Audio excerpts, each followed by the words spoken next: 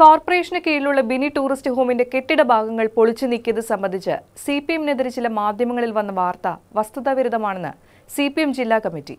കോളിളക്കം സൃഷ്ടിച്ച ബിനി പൊളിക്കൽ നടപടിയിൽ മേയറും കൂട്ടരും വരുത്തിയ ഗുരുതര വീഴ്ച സി പി എമ്മിനെ വെട്ടിലാക്കിയതിന് പുറകെയാണ് പാർട്ടി സെക്രട്ടറിയുടെ പ്രസ്താവന. തൃശൂർ കോർപ്പറേഷന്റെ ഭരണം നിർവഹിക്കുന്നത് തെരഞ്ഞെടുക്കപ്പെട്ട എൽ ഡി എഫ് ഭരണസമിതിയുടെ നേതൃത്വത്തിലാണ്. ഇതിൽ അഞ്ച് സ്റ്റാൻഡിംഗ് കമ്മിറ്റി എൽ ഡി എഫും മൂന്ന് സ്റ്റാൻഡിംഗ് കമ്മിറ്റി കോൺഗ്രസ് നേതൃത്വത്തിലുമാണ്. കോർപ്പറേഷനിൽ നടക്കുന്ന ദൈനംദിന ഭരണകാര്യങ്ങളിൽ സി പി എം നേതൃത്വം ഒരിക്കലും ഇടപെടാറില്ല.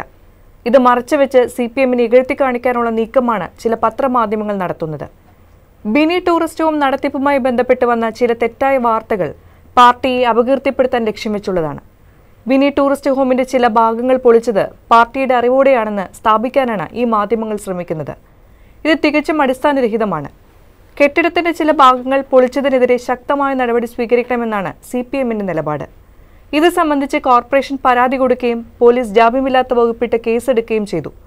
കോർപ്പറേഷന് വന്ന നഷ്ടം ഇരുപത്തൊമ്പത് ദശാംശം എട്ട് അഞ്ച് ലക്ഷം രൂപ ഈടാക്കുകയും ചെയ്തിട്ടുണ്ട്.